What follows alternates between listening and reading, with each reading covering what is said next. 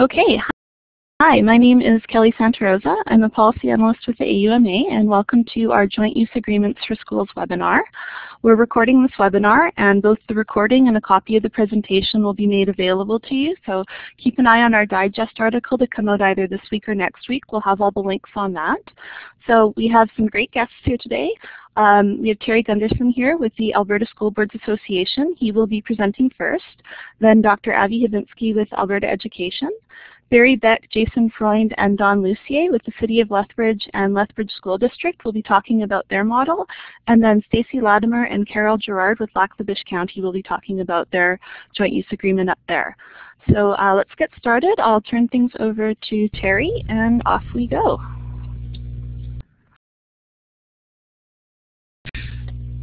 Good morning. Um, as you heard, I'm Terry Gunderson. Uh, I'm an education consultant with the Alberta School Boards Association and certainly on behalf of the association I want to extend compliments to the AUMA for hosting this webinar. It's certainly my privilege to be involved. As schools are a community resource, it makes so much sense to jointly plan and jointly use uh, this resource. It just makes sense to work together. Prior to the work uh, I'm currently doing, I was an Associate Superintendent of Planning and Operations for Strathcona County and then Superintendent of Schools uh, for Strathcona County Schools.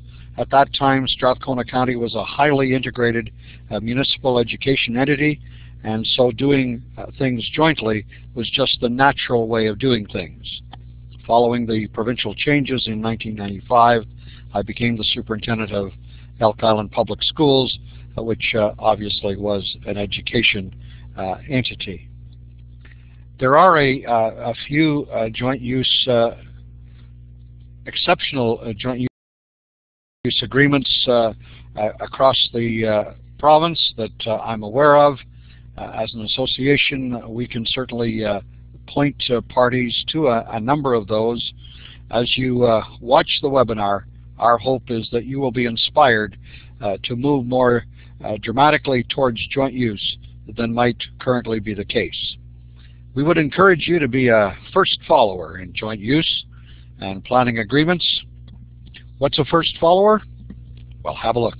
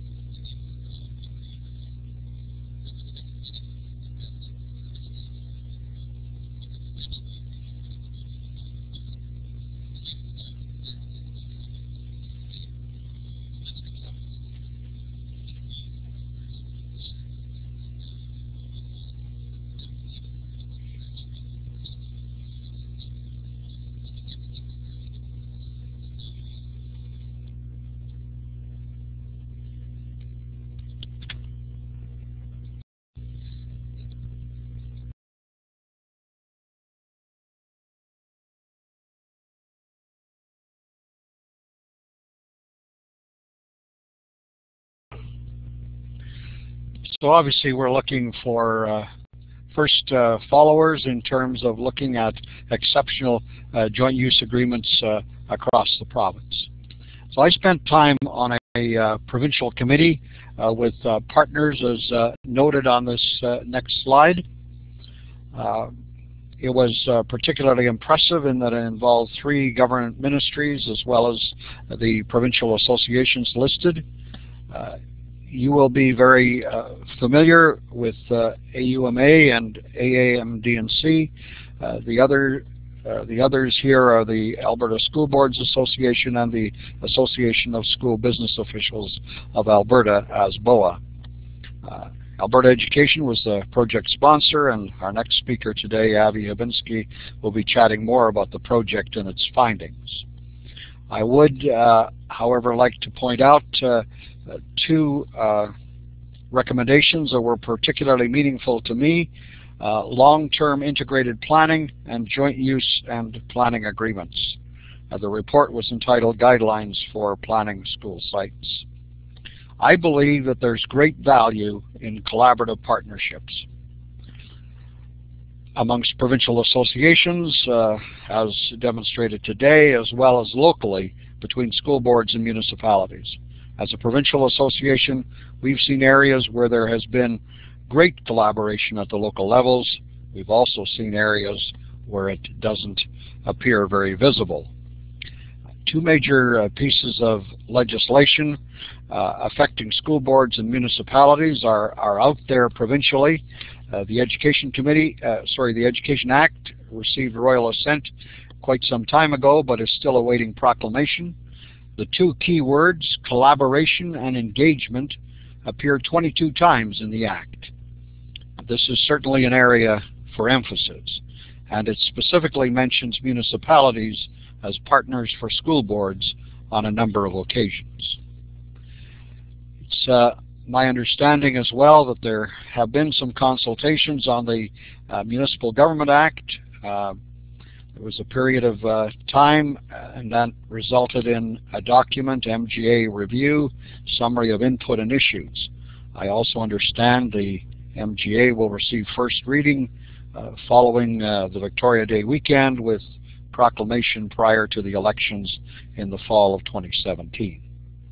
So there may be further opportunities for respective parties to provide input into both acts in my opinion, that would be highly uh, desirable. A recent report by the Auditor General outlined the unprecedented emphasis on education infrastructure as a provincial program. Uh, phase one, a program that's mostly complete, uh, involved 35 new schools. Phase two involves 50 new schools and 70 major modernizations. Phase three, 55 new schools and 20 major modernizations. Uh, some additional dollars were identified in budget 2016. Uh, this uh, reflects the work that has to be done and the fact that 8,200 more students are anticipated in September 2016 in Alberta schools. So, in my opinion, we have a historic opportunity to work together this webinar is focused on joint use agreements with some reference to joint planning. I can tell you that at the spring general meeting for ASBA, uh, there will be a school site planning session that will occur on Tuesday, June the 7th. I'd like to conclude by saying it seems very reasonable to explore providing the very best foundations for the process of planning for and using schools.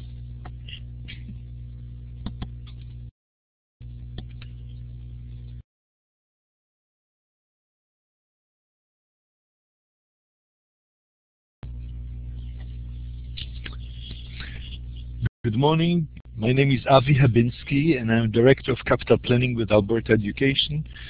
I've had extensive experience with joint use agreements. Uh, my previous position with as an executive director uh, with Edmonton Public Schools, and uh, I'll try to provide you with some further insight on a study that we undertook and the report that the Minister of Education uh, released on February 10, 2016 titled Guidelines for Planning School Sites. It will focus on uh, collaboration between municipal and school authorities as well as some um, best practices engaged, uh, engaging in development of uh, these school sites.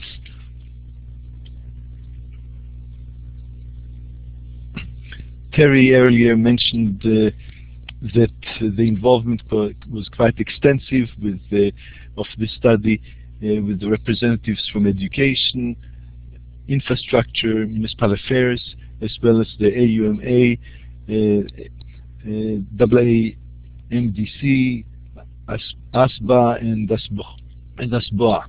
I would like in this opportunity also to commend the AUMA for arranging this form of webinar on school sites.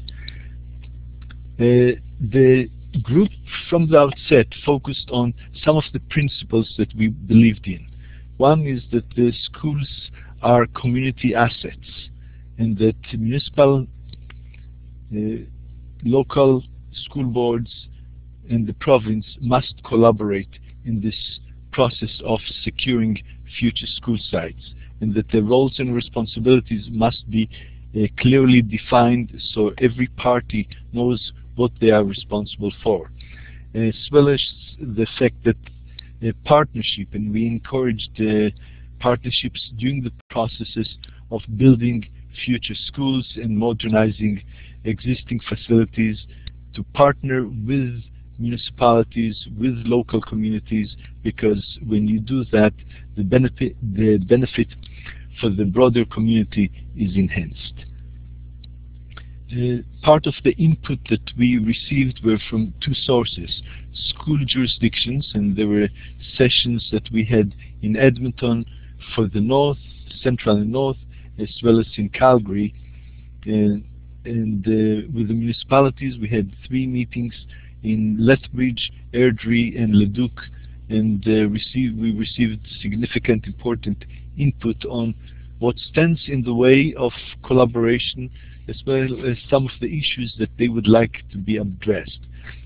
Uh, the school jurisdictions shared with us that the concern of no provincial standards for school sizes and uh, there is a challenge in that because uh, we as the provincial level do not have uh, control over the delivery of school sites. We in the Municipal Governments Act expects the delivery as interaction between the municipal and the school authorities. The next one was the relationship between school boards and municipalities very markedly. And what we found is uh, the number of school jurisdictions, almost all of them, have responsibilities over areas that have a number of uh, municipalities. And the interaction with the municipalities vary. In some cases, the relationships are good. There is a joint use agreement, good understanding of what are the respective responsibilities. In others, it is more reactive in nature, if at all, if there are some relationships. And when it is reactive, the school board shares the message, we just got a project approved, and we would like a site that is serviced. And you can imagine at the municipal level, the reaction is, what? We need, uh, it will take uh, a few months or maybe even years to get to it and uh, our budget has not been planned based on these kind of uh, expenses.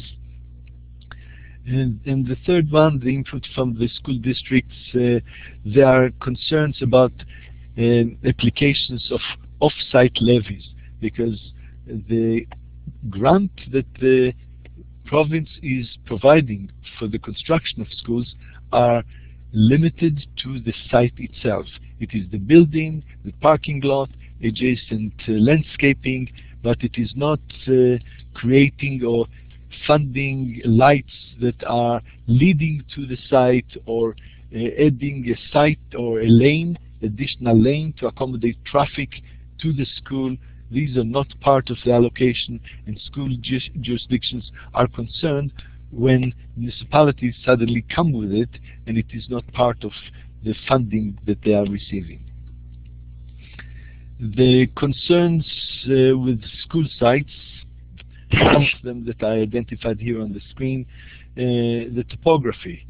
Uh, schools are not necessarily receiving the best sites through the developers. Sometimes it is areas with slopes that require significant investment into grading and uh, sometimes it is the lower area in the the lower area and uh, immediately you can see swamps because this is not easily uh, developable. You need to invest in it and these are the sites that end up passing on through the municipality to the school board. Uh, also issues of sites not being serviced. Um, at the present time the sites need to be serviced in order for education to recommend that the school is going to be uh, going ahead or being going to be funded. The issue of property size I mentioned before is also, uh, and it is sometimes inadequate. Inadequate. Uh, some of these sites were identified uh, long ago, sometimes 15, 20 years ago when the traditional school was K to 6, 600. Nowadays the school districts are, are trying to build K to 9, 900. You require significantly more land and there is a gap between what is needed and what is available. Uh, quality of the soil uh, sometimes is uh, a challenge. Contamination, organic material, uh, stockpiles on the school property that needs to be removed before the project can proceed, and uh, playing fields. Uh, in some municipalities there is no recognition that it is the local authorities responsible, between them, responsible for the development of uh, the school site. As a result of these kind of challenges, projects are delayed, uh, the costs are rising, and uh, projects are cancelled. Uh, in the recent case in Calgary, the high school, Catholic uh, School District High School, needed to be re relocated because the original site was not uh, ready in terms of servicing the site. The input that we received from municipalities uh, towards this study was uh, were the following. Uh, they wanted to have a consistent and predictable capital funding. So for a period of three to five years, if they know which projects are going to be funded, then it is easier to incorporate them in the budget of the municipality and uh, ensure that they are available in a timely manner. Um, local obligations uh, make sure that uh, each party knows what is expected of them. Playing fields, who is responsible and when is it that they are needed. If Existing sites are insufficient, I mentioned it uh, earlier, uh, when the school is larger than originally designed and uh, there was a feel feeling that if there is a commitment to a joint use agreement, it results in collaboration. Uh, out of the study, we ended up listing a number of recommendations, and here are some of the highlights. Uh, the need to have a longer-term integrated planning so that when a municipality is engaged in planning, whether it is an area structure plan, or other plans, they need to involve the school jurisdictions uh, so that they can get an input into the implications of the different zoning on the number of students. And once you know the number of students at the elementary, junior high, senior high level, then you can start to plan for future uh, facilities. Uh, there is a government commitment or the recommendation is for a government commitment to predictable funding. And we saw in budget 2016, government identified, the Minister of Education identified 50 schools that are considered by education to be of high priority and the future approvals will commence with uh, consideration of these projects. Uh, the site readiness is an important one and uh, in some of the good examples that we see, municipalities are now involved in signing commitments that the, the sites will be serviced in a timely manner so that if we end up approving the project, we don't have to wait for too long before it could be implemented. Uh, provide guidelines to clarify roles and responsibilities and outline best practices. Uh, the comment about uh, site readiness and the signature of a municipality guaranteeing, yes, we are going to work on that is a step in the right direction, is identified as one of the best practices in the document. School jurisdictions and municipalities should review joint use uh, planning agreements. Uh, we recommend that at least every five years they should be reviewed and in cases where there are no agreements, I think that uh, uh, the municipalities and the school authorities should consider there are many examples and we can share the examples of uh, good agreements that they could explore whether these uh, would fit their needs.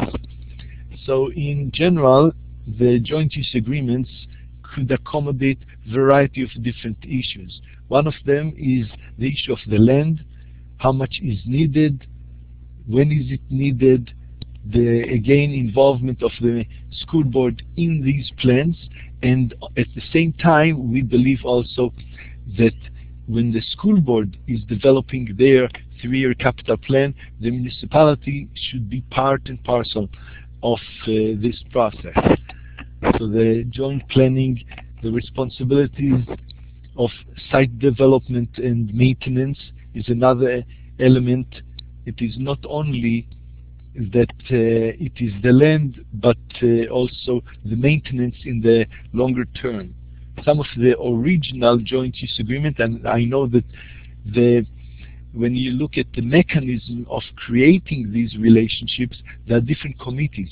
So in the case of Edmonton Public, for example, or the city of Edmonton, there is a committee that deals with issues pertaining to land, and they have um, also issues pertaining to access of facilities so that it is community access of the gym or other spaces in the school as well as the school's access to facilities such as tennis courts and swimming pools that are maintained by the municipalities.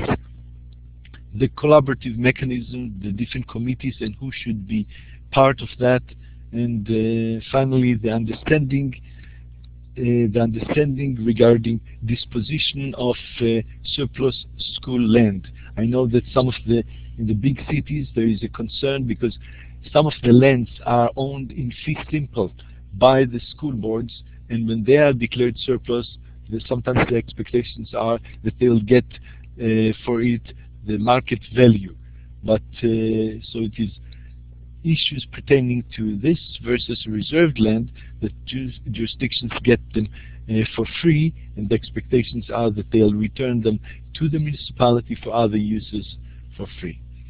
I know that I can elaborate on many of these points and I'll be pleased to respond later on to questions. Thank you.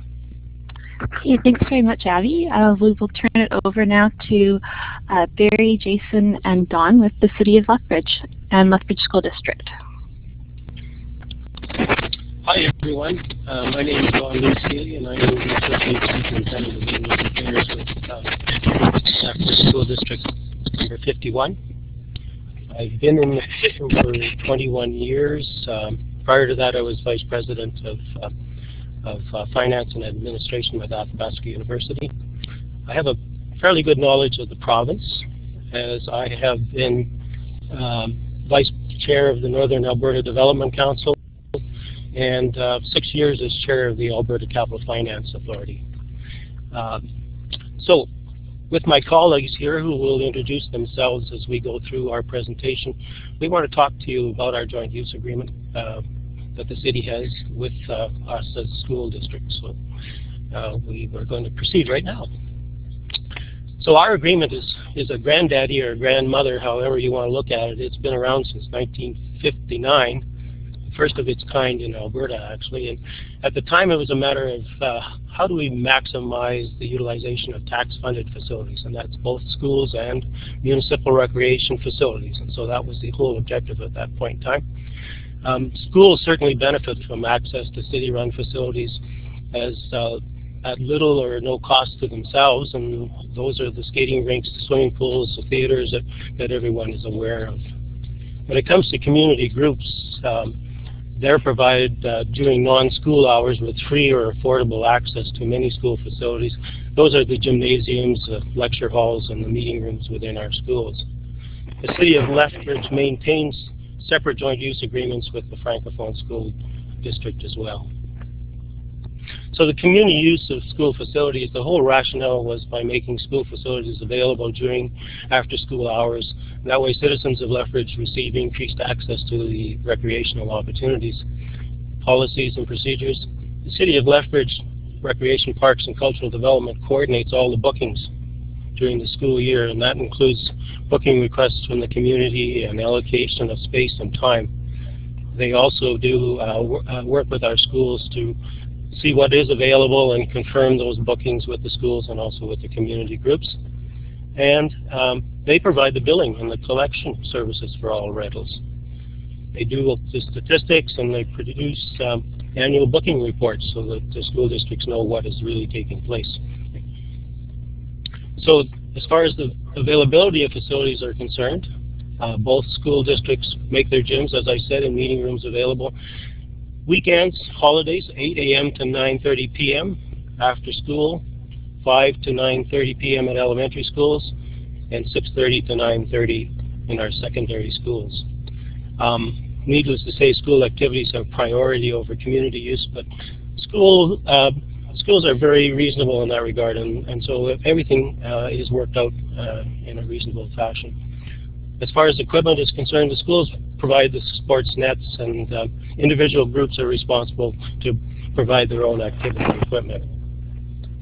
Supervision, um, this is really important. At the time of booking, community groups are required to provide the name of one person who is responsible for supervising the participants before, during, and after the booking. And when it comes to cancellations, we require 48 hours in advance of the scheduled time, and that helps in the, in the sense of caretaking, etc., within our schools. Security, we open the doors 15 minutes prior to the activity, and we ask the groups to vacate 15 minutes, within 15 minutes after their booking time. Um, caretaking, school boards arrange for caretaking, and caretaking is present during all scheduled community activities. School boards attempt to have caretaking duties coincide with scheduled bookings. We do that as much as possible. In fact, our caretakers will work till about 10 o'clock at night so that we can cover those evening bookings. Um, and use outside regular caretaking hours require caretaking. We then uh, have to look at approving those and it's covered through the monies collected from the bookings uh, that the groups make. So we do have a few restrictions.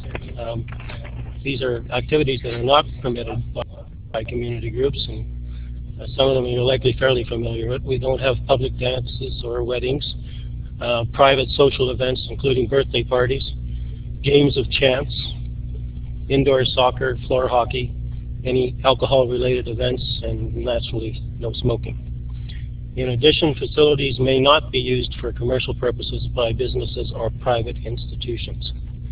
The nice part of this is that the insurance, as far as insurance is concerned, the City of Lethbridge provides a blanket coverage for all user groups that book through the administration office. And with that, uh, we've got cost sharing. So at the end of each session, revenues are first used to replace any worn out equipment as agreed upon by the Joint Use Committee with remaining revenues returned to the respective school districts. Now in the past this was a 50-50 split, but as you're well aware, school districts are very poor, and so we've um, changed that to uh, to it all going back to the school. I'll leave it to Jason. I'll leave it to Jason. We're going to do a little of a handoff here. Uh, my name is Jason Freund. I'm the Recreation Services Manager for the City of Lethbridge. And I'm just going to talk a little bit from the city's uh, perspective on uh, how the school access to the City of Lethbridge facilities works. Um, obviously, we let them in for educational purposes, but um, we have a lot of uh, field trips and whatnot that fall outside those auspices, and they and they still fall under this policy. So it is not purely uh, we don't ask what the activities are when they're coming in. But nonetheless, um, in terms of availability, um, the schools have access free of charge to any of our city facilities from the hours of 8 a.m. to 3:30 p.m. There are activities that happen before and after those times that there are charges that apply to them. Um, so this is the free portion of that. Um, it applies to all Lethbridge schools that are participating in the joint use agreement, and for us that is actually three school districts right now. That's the, the School District 51, the public, the Catholic School District, and the Francophone District. So we have um, all three districts that operate within the city right now that are participating in this. Uh, during the school day, uh, the priority of use is actually given to the school activities. So even if we would have regular bookings, um, we do give the priority to the school districts to uh, keep this a, a joint uh, moving forward and being a positive experience for everybody. Um, supervision, uh, we do require, of course, that the schools provide the, the supervision of the kids that come to the activities. Um, we do not provide that within the facilities necessarily, um, so they do have to have the adequate supervision depending upon the ages and the numbers of the kids that are coming through. Uh, all booking procedures are done uh, directly through our administration offices at City Hall. So each school, uh, it can be any teacher representative, the principals, or whoever the class representative is can call and book with our administration individual, and we will set up the situation or whatever facilities that may be. Uh, we've talked about a lot of facilities in here, just so you know what type of facilities we're talking about. We have ice arenas, tennis courts, ball diamonds, soccer fields, picnic shelters, uh, the theaters in town. We have uh, public operated theaters, uh, city hall bookings, our Galt Museum, our nature center, swimming pools, and any other facility basically that you can we can list in there. So it is a, a full complement of facilities that's in there. Uh, any one of these facilities, there is no rental fee uh, uh, for uh, for the schools during the daytime hours, with one major exception, and that's usually at the aquatic centers where there's additional supervision required for the number of kids those fees must be picked up by the by the schools that are coming through. Uh, but if you're bringing a group in, we can we can deal with it on a regular basis with staffing. There's no charges. Um, we also have a grounds and open space management um, portion of, of, the agreement. Uh, this is split into two. Uh, I'm, I'm, just going to talk about something that's not on the screen quickly, which is and the bookings for those fields. Uh, the schools have use of, their, of, their, of, the fields uh, on the outside of the buildings uh, until 6.30 p.m. and then the, the city books them to the organizations, the soccer, the footballs, after 6.30 p.m. Um, we do talk to one another, so if the, it goes before or after that time, there is a partnership, uh, but so those fields are booked under the joint use agreement as well. In, most cases, the, and all cases, actually, the city maintains um, all the fields and all the playgrounds uh, and all the school, schools. Uh, so the, there is a cost sharing mechanism that's in place uh, for that. Uh, it is a, a, very complicated formula uh, based on the, the, hectares of the school and and how many how much water is used and everything uh, part of that process. So it didn't attempt to put that in here, but it is agreed upon on a yearly basis on the joint use committee as to what those costs will be. Um, there's also additional special maintenance requests that go in there when we have special projects, whether that be replacing a, a ball diamond, adding another another field, um, backstops, posts, those type of things that uh, get uh, taken care of, as well as a budget meeting once per year. Um, the city maintains the grounds out the back door. What that basically means is, is uh, on, on the back end of the school where most people don't see it effectively from that point on out the doors with maybe a three meter buffer, the city maintains and does the maintenance on, on everything from the grass to fields to everything else that's out there. Um, that also includes um, all the playgrounds, as I mentioned early, earlier, that are the back of the door. The school boards themselves are maintaining the front of the building up and including to the sidewalks to the road. So that's, that's where the sharing agreement goes from there. And I'm going to pass it off one more time. I'll be back in a minute. Thanks, Jason. Uh, this is Barry Beck uh, speaking. I'm the Community Services Director for the City of Lethbridge. Uh, I work closely with the school districts uh, on an ongoing basis. Uh, I've known uh, Don himself for quite a few years. I used to be in the consulting engineering world and helped Don design and build a number of schools, including the West Lethbridge Center, which was two high schools and a library. So it was really quite an endeavor. We actually built an entire subdivision to make that happen. It was excellent.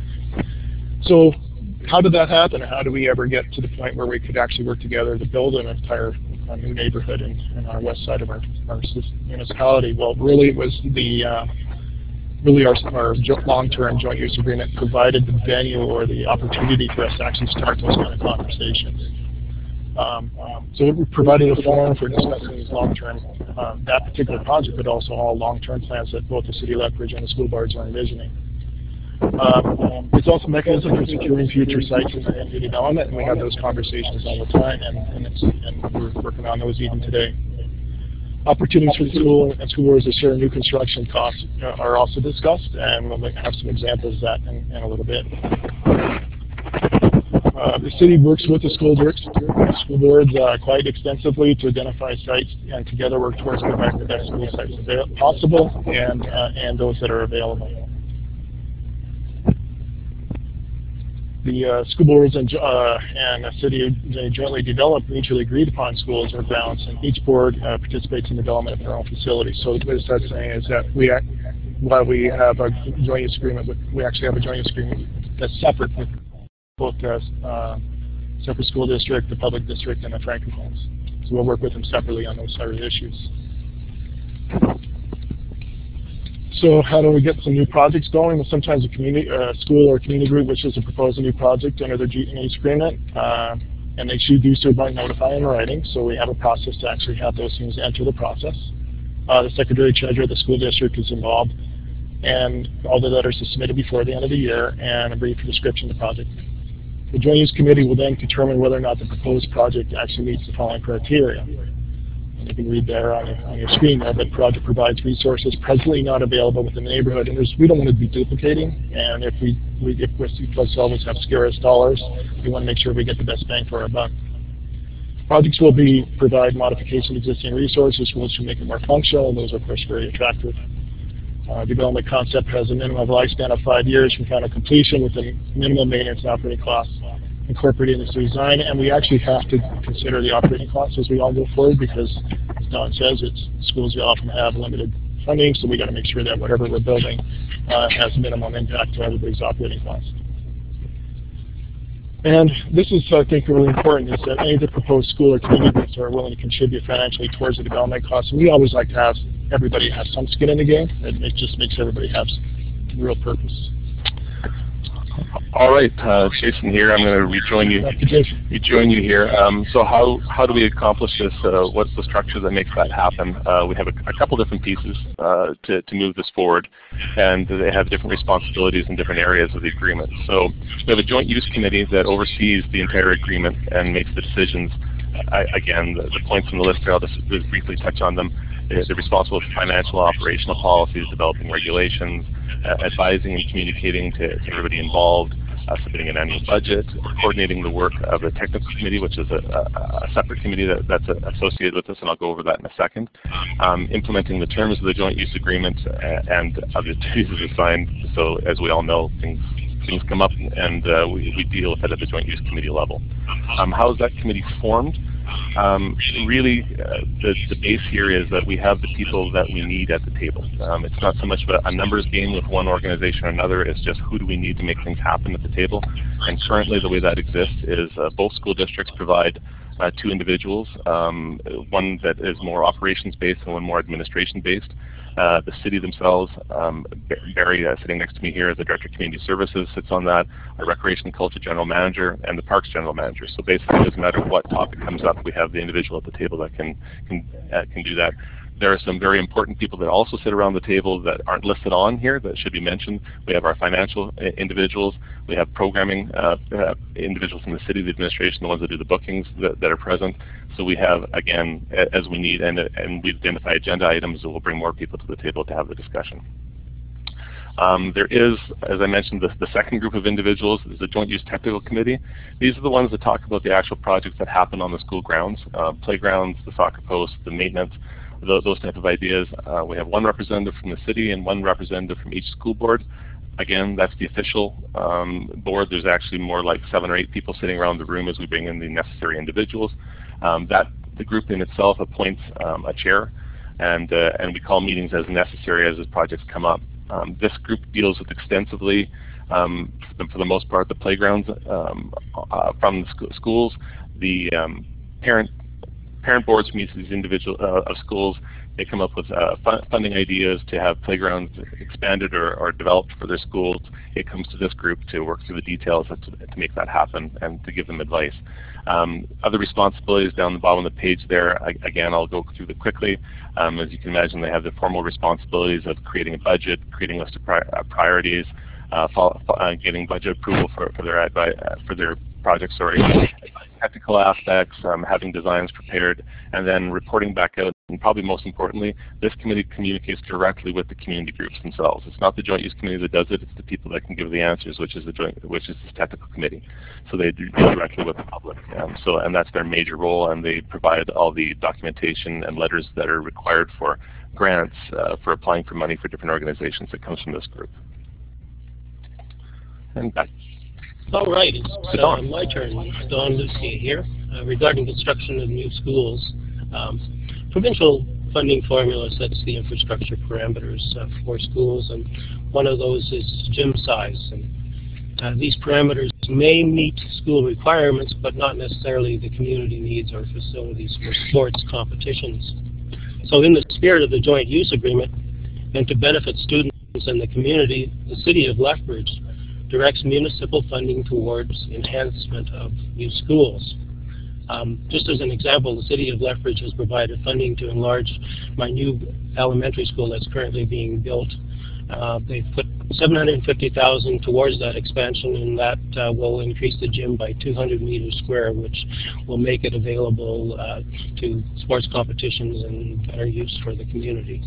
Uh, as far as the size of the school sites, uh, those are determined uh, jointly in collaboration with the city. And I must say that over my 21 years, we've built a number of schools. We've never had an issue as far as, uh, as size of site, etc. Many school sites are a combination of uh, school sites and city parks, uh, and, and, so are very large. Uh, one thing about the city is that there's so many trails and they flow through our, our uh, school sites and through the parks, and it's just a nat natural transition. It's a wonderful, wonderful uh, city to be in. Um, boards have the title to the school building site, which is usually around three meters around that particular site, including park lots, and joint title to the rest of the school site. And the rationale for the joint title to the rest of the school sites basically ties in with um, if uh, you know somebody wants to come along and put an electrical box sort of thing, and and so it could be a liability thing. So this way we sit down and we talk about those kind of things and we work them out accordingly. The other neat thing about the city is that when when we start to do our construction of our school site, the city moves in right away and starts building their fields. And so in that case, they can get two years of, of growth as far as the grass is concerned. And so that makes it much more able to stand up to the community and the school use. It's in great shape when we take it over. So now I'm going to pass it back to Jason. Or is it Barry? Yeah, thanks, Don. I, I just wanted to make, uh, Don has an, example for 200 meters on a particular building here. It actually has a, a, a real reason why it's 200 meters. For the uh, when the province sets their funding formula, let's say it's an elementary school, the, the gym is usually fairly small in, in some respects and the extra 200 meters gets it up to about the size of a um, middle school gym, I believe. And that's the size that we need for our community groups to, to have more or more community more commu uh, community groups that can uh, access that facility in that regard. So that's one of the that's probably the primary reason that we actually uh, provide additional funding, so we have more community access. All right, and uh, obviously, I mean, you've heard all the positives there. There's always challenges that go along with any one of these types of agreements, and uh, the City of Lethbridge and the school districts are no different. Um, we've sort of identified a few of the key ones here. These are by no means the only ones, but uh, but uh, we'll touch on these ones just as, as warnings as to how, how, we try to deal with things. Uh, our, our biggest challenge by far across the board in terms of booking this is, is getting all the individuals involved, the sports groups, the, the teachers, the principals, to understand that how, the booking process works and to please use the booking process rather than going around the side and using the facilities on their own. Um, the key to this one really isn't the fact that they're using the facilities, the key to this one is actually the insurance, is that anybody using these facilities that aren't booking through the process, as we mentioned before, the city blanket insurance to everybody, those groups that are in there aren't covered by anybody. And so we're putting kids or adults or whoever at risk in those situations, and that's what we're trying to avoid as, as much as possible. Um, finding caretaking for the weekend activities. Um, obviously, the school districts are unionized staff, and those those weekend times are overtime for any one of the, the caretaking staff that are working them, and therefore are are um, optional for them. They don't have to work the weekends, so we, we rely on our relationship with them and the relationship with our groups to, to keep those weekend activities rolling forward. Um, there is definitely additional operating costs to school districts um, by having all these these groups in, in their schools in the weekends and and, uh, and the evenings, uh, including the couple examples they have there with gymnasium floors need to be refinished twice as often, and just having the lights on in some of these big gym gymnasiums uh, uh, are some large costs. So despite the fact that the school districts, and this is one of the reasons why we changed our funding formula to put the money back to the school districts instead of uh, splitting it 50-50, is they're taking on the additional costs. Uh, the city does the administration costs of staff in the, in the city hall, and that's true, but many of the maintenance costs and the cost of running the lighting stays with the school district, so that's why they take the money back at the end. Um, and demand by the community is greater than any of the space we possibly can have available. Uh, it doesn't matter how many gyms and how many hours we open up, uh, there's always more more requests than we can have available. Uh, for example, our basketball group in town right now, um, we only probably give them about 60% of the time that they're looking for. They run a full program with that, but that just shows the expansion level that they would go to um, if the space was available. So it's an incredibly popular and uh, positive development. So uh, Don was so kind to allow me to uh, uh, speak to this last slide here. Well, actually, I had to wrestle with him, but um, this to me is probably our most important slide because uh, Jason just commented around some of the challenges that we face and how we approach those challenges are because we have this common vision. Uh, and we actually have an operational process in place to allow us to work through the, any challenges. Um, basically, everybody on the team and over at the school boards uh, and school districts all have the same vision.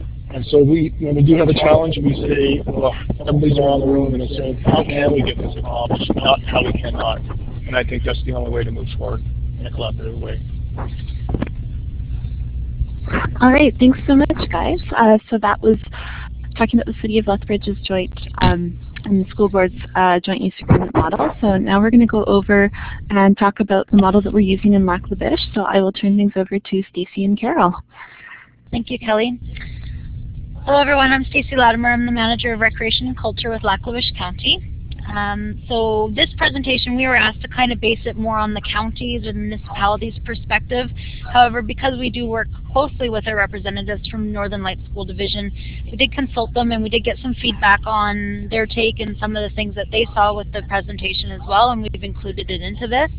So we're going to kind of walk you through a history of how we led up to the joint use as well as the successes and challenges that we've had and then kind of some of the learning moments because ours is only a few years in the making so we don't have 40 years under our belts yet.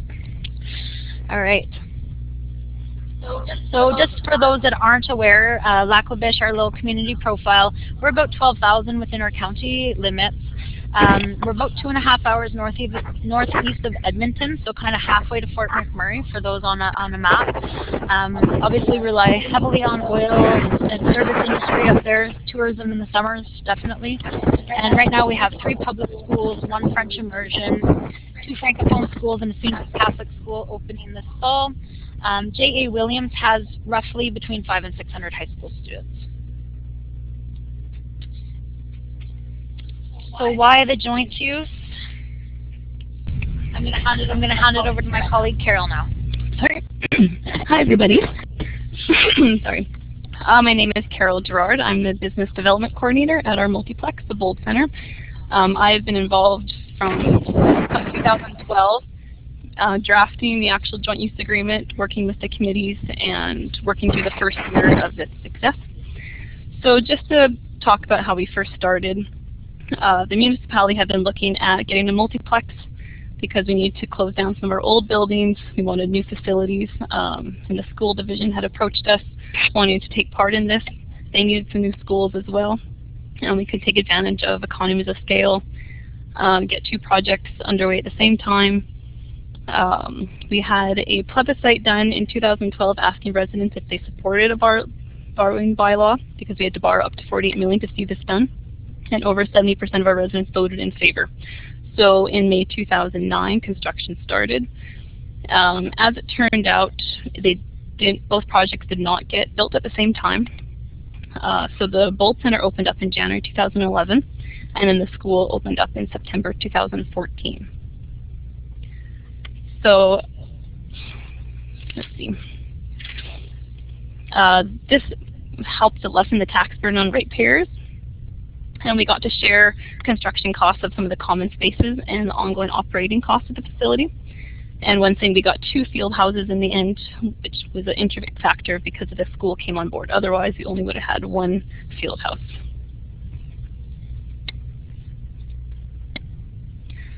So as I said, the Bold Center opened up in January 2011. After that, a joint developed area committee was formed. Uh, we first started off with a ground lease, that was a 50-year lease. So what happened is the school actually leased the land from the county and up to five meters around the building. And once the ground lease is finished after 50 years, the school became property of the county, and unless it wasn't renewed. And after that, we did, a joint use agreement. So the steering committee was formed in 2013. And I'll just pass on to Stacy just to give you an idea of what was all involved with the Bold Center. So a lot of people ask why the Bold Center. Um, if anyone knows, Lac-La-Biche is small, and um, we having this multiplex has added a lot of value um, and infrastructure to the county. Um, we have our, our, tagline that's called Life Happens at the Bold Center. It's approximately 250,000 square feet. It's a one-stop shop for a lot of parents, a lot of sports, a lot of community groups and schools to be utilizing.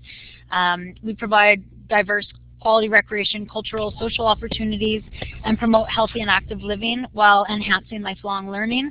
Um, the Stuart MacPherson Public Library is also kind of tucked in nicely between the school as well as the Bold Center.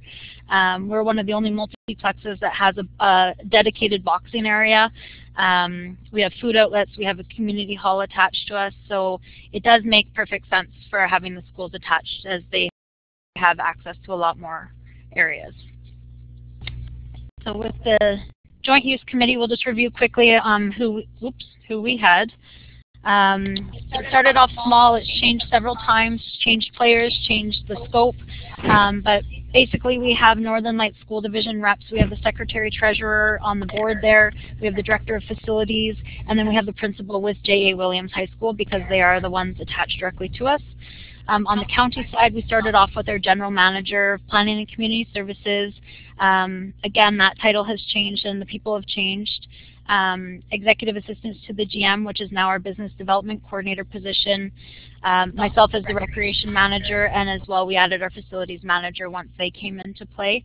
Um, that's our steering committee. Like you guys, we've also developed our subcommittees um, to deal with specifics on the facility side, on the programming and scheduling side of things. And then we also have what we call kind of the conduct one with all the things that don't fall into any of those other categories where we can deal with things at, at both levels. So this is Carol again, um, just to talk about how we went about developing the joint use agreement. We started off um, just with a brainstorming session we were all very familiar with each other and had been worked on the other committees together. So we just went around roundtable. Everybody said what needed to be addressed in the joint use agreement. So how to share the space, how to figure out the cost, uh, school parking, lockdown procedures, all these different things we wrote down. Uh, we explored other municipalities' joint use agreements, did some research, um, drafted it up, and then we started going back and forth with solicitors and task force council did get involved at one point. Uh, they got to put in their input and made sure they were comfortable with it as well. Then the school opened up in September 2014. We weren't completely finished the agreement, but it gave us a chance to put it live and work out the kinks. So that was actually a positive. We made a few changes, um, and then it was officially signed off October 28, 2014. So we always kind of went in this thinking that this is a living document, especially the first few years. We haven't had any experience with this. We needed to really be able to be flexible. Um, so the duration of developing it took about 15 months. there were four to five revisions. We did look at doing it sort of like City of Lethbridge did, where they took care of all the bookings for all the schools, but after some discussion, it was just too much at once to take on. You're suddenly going to have you know, 500 students into the Bold Center, which our community members were used to having all for themselves. And now they had to share the space with students, and students had to get used to, you know, having their main gym as a part of a multiplex. So it took them getting used to. So the actual agreement was about 19 pages, and that was more the legalities and different things.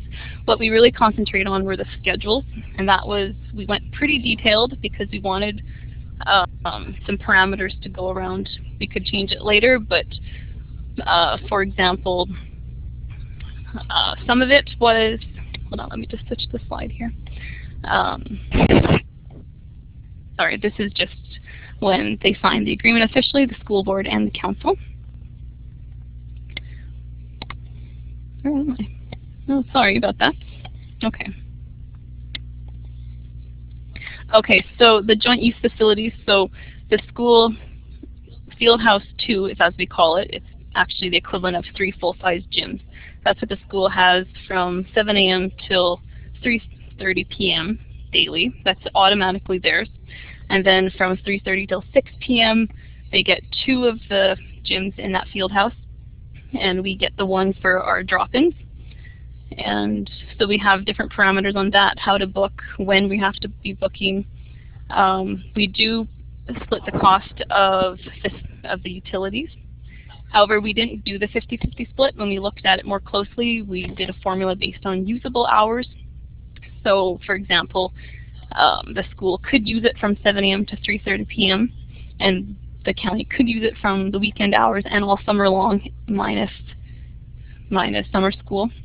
So it turned out the county did have more use of it. Um, so that's how we came up with 40, 44, 56 split. Um, we shared different capital costs such as refinishing the gym floors.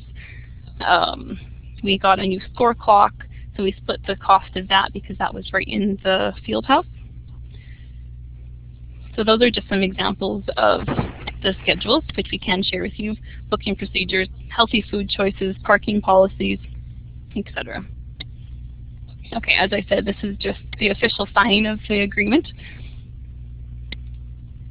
And Stacy can talk about some of the successes. Okay, so when I first started at the Bold Center January 2013, I have to say it was a little bit of a dead zone during the day. Um, that has changed dramatically.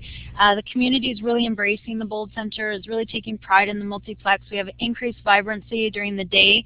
Um, there's just a buzz of activity all day long now, which is great to see.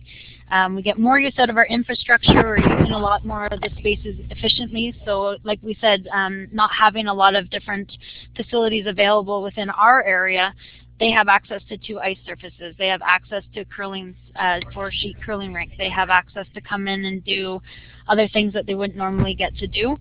Um, we work together on the sports fields, um, sharing the costs, and our members and our ratepayers as well get access to those types of additional value infrastructures um, as well.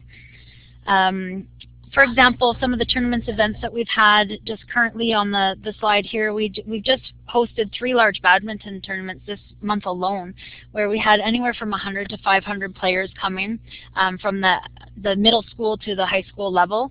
Um, our popular Wow Pow tournaments every held every October. We always have 40 or 50 teams in that tournament. The Pink Shirt Day, which is the anti-bullying um, event that happened a couple of Februarys ago. We had over 900 children there that day. Um, and the party, the Preventing Alcohol-Related Trauma in Youth, um, again has been historically um, held at the Bold Center. So the, the, schools are, like the Lethbridge one, they're able to come and book our facilities during the day um, at little to no cost. Um, like they said, the access to the pool as well as the rinks are the higher cost for us, so we do have a nominal charge involved.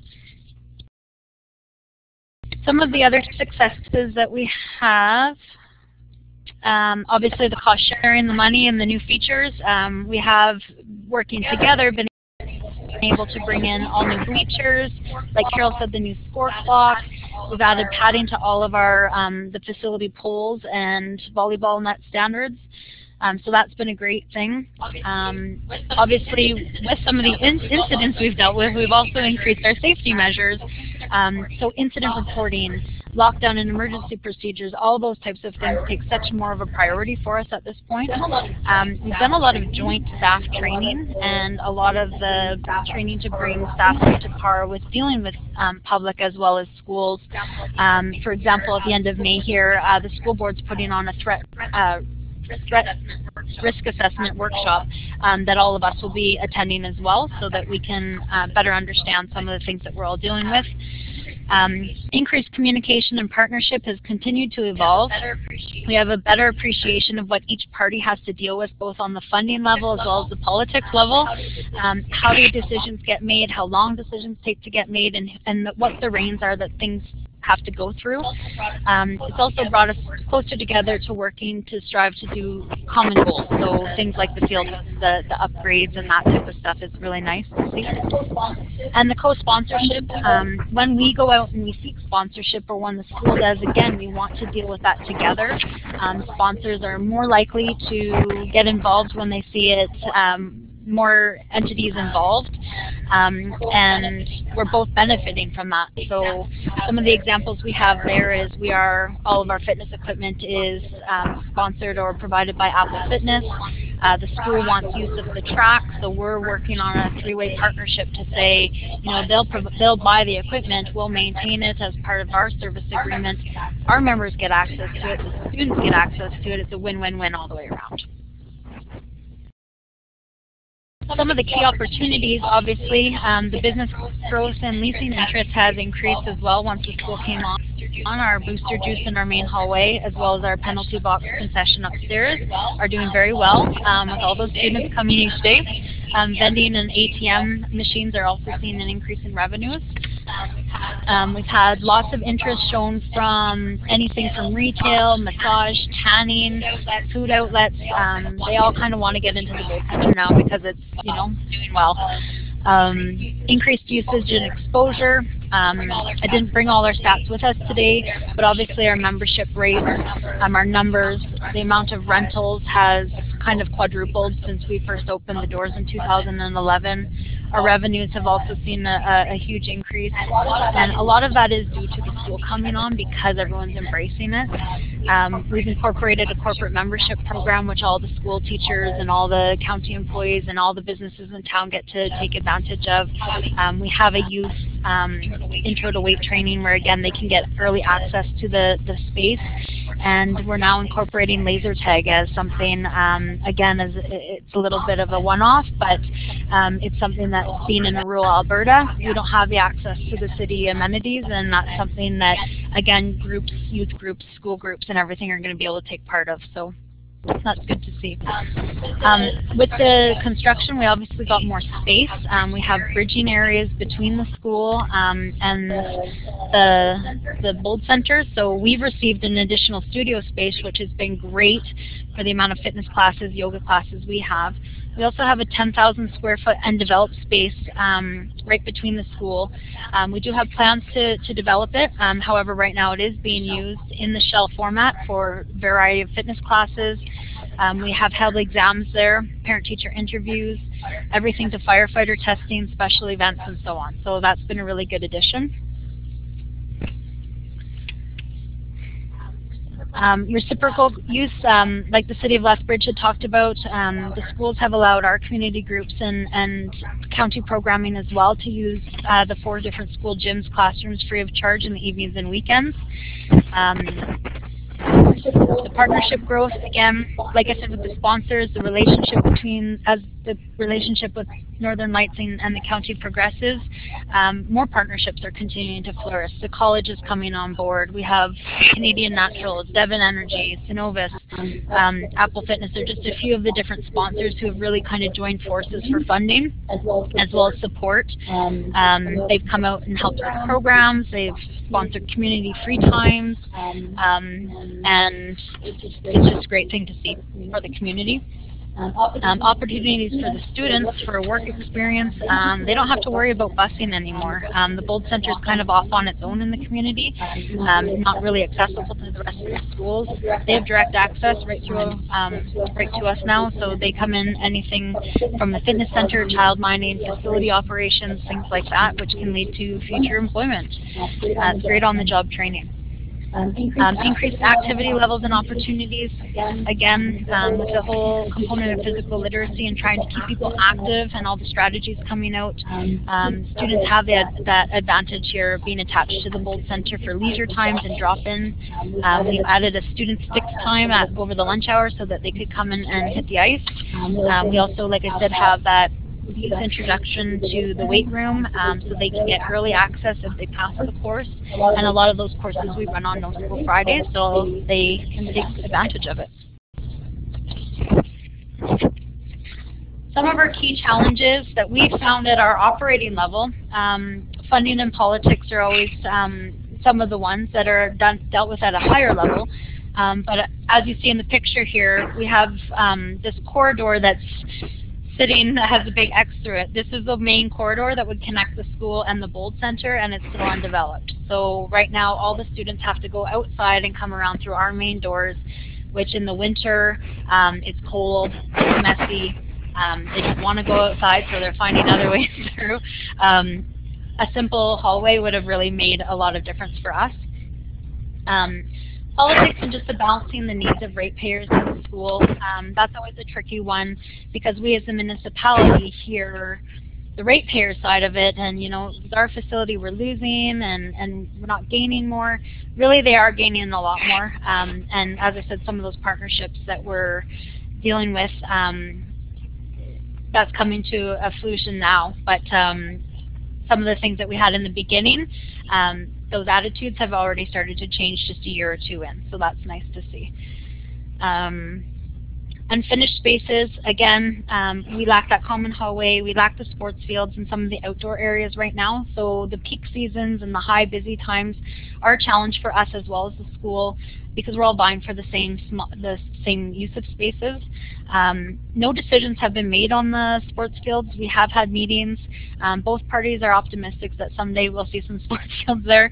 Um, right now, a lot of the times they have to bus back over to the old site. So that's a bit of a struggle on the school side for sure. And then, as I said, the conflicts during the, the peak times. Um, there are times where the schools has it booked to 6 or 7 at night for basketball tournaments where they're using the whole full court, um, which means our programming takes a bit of a back seat. But having that reciprocal use and moving some groups around, um, it's just been different for us, but we're, we're working our way through it. Um, some of the other key challenges and that are turning into successes is we have unified policies and standards. So because we were all working independently before in our own little silos, we're now seeing things from a bigger picture and that we have to really communicate and have those things unified so we're all working together. Um, the 5% record rule, as always, you know, there's always that 5% that seem to like to do things their own way. Um, we've had skateboarding, smoking, um, fighting, arrests, things like that that you don't really expect that to happen, but you have to deal with it. So again, really ironclad plans and a lot of meetings um, to address the things as they come up um, have helped us. Um, obviously, with more people, there's more wear and tear. Um, we've had increased incidents, like in our parking lot, for example. We've had, you know, more vehicle damages, more break-ins. Um, we've dealt with that in the sense we need more security. We need to upgrade our security systems, um, and that will help as well. And then the school has less privacy. Um, again, being in a multiplex, we've incorporated some privacy screens and some other things to kind of deal with that. But it, it's something that if you were in your own individual school, you wouldn't. It's not an open concept facility. You wouldn't have to deal with those things. And the just because mentality.